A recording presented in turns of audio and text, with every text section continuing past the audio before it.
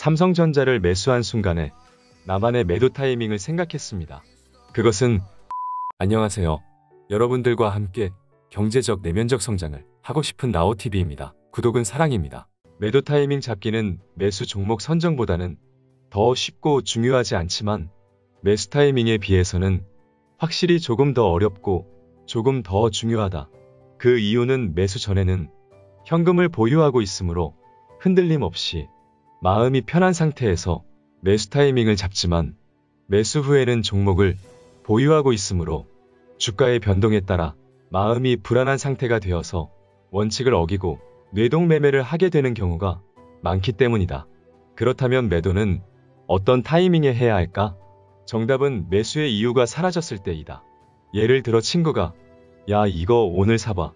한 20% 오를 것 같아. 라고 해서 매수를 했다. 그러면 언제 팔면 될까? 20% 올랐을 때 팔면 된다. 왜? 나의 매수 종목 선정 사유가 주식을 잘 아는 친구가 20% 오른다고 한 말이기 때문이다. 그러나 많은 사람이 그렇게 하지 않는다. 만 원에 산 주식이 20% 올라 12,000원이 되어도 40% 올라 14,000원까지 올라가도 팔지 않는다. 왜 20% 이상 40%까지 올랐는데 팔지 않았냐고 물어보면 더 오를 것 같아서라고 대답한다. 명확한 종목 선정 사유가 달성이 되었음에도 팔지 않았다? 그렇다면 이 종목은 이제 합리적인 매도 타이밍을 잡을 기준이 없어진 것이다. 좀 더 현실적이고 구체적으로 삼박자 분석으로 매수 종목을 선정했을 때를 생각해보자. 실적이 좋아서 종목을 선정했다면 실적 시즌에 어닝 쇼크가 나오면 팔면 된다. 실제 실적 시즌에 어닝 쇼크가 나오면 외국인이나 기관 물량이 쏟아져 나와 대형 주임에도 불구하고 하루 20% 급락하는 경우를 허다하게 볼 수 있다. 개인 투자자보다 훨씬 원칙을 잘 지키는 펀드 매니저들이 실적이 좋은 대형주를 매수했는데 실적이 안 좋아지니 매도한 것이다. chartist들 역시 마찬가지다. chartist가 정배열 종목이 좋아서 매수했으면 역배열로 바뀔 때 팔면 된다. 또는 역배열로 바뀔 것처럼 중장기 이평선을 깨거나 데드크로스가 나오는 시점에서 팔면 된다. 차트가 망가지는 시점에 급락이 나오는 경우가 많은데 원칙을 지키는 매도 물량이 많이 나오기 때문이다. 스케줄 매매를 하는 재료 매매자들은 예정되었던 스케줄이 다가온 날에 예정된 재료가 나오든 안 나오든 주가가 오르든 내리든 팔면 된다.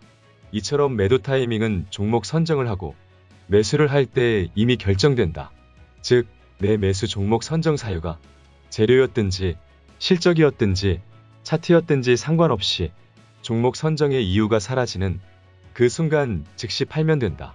지금까지가 저자의 오늘 책 내용이었습니다. 이번에 소개해드린 책 부분의 소주제는 매도 타이밍은 언제가 좋을까? 라는 부분이었습니다.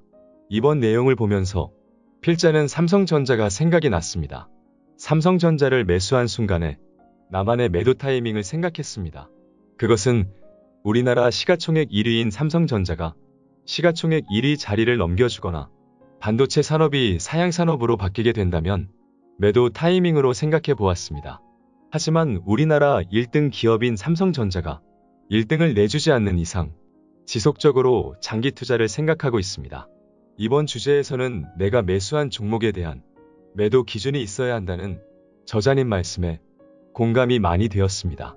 시청자와 구독자분들의 생각은 어떠하신가요?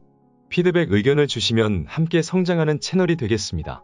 지금까지 이야기한 부분은 이정윤 저자님의 성장주에 투자하라 책을 참고하여 만들었습니다. 여러분들의 성공과 행운을 응원합니다. 시청해주셔서 감사합니다. 영상이 유익하셨다고 생각되시면 구독과 좋아요 부탁드립니다. 다음에 또 만나요.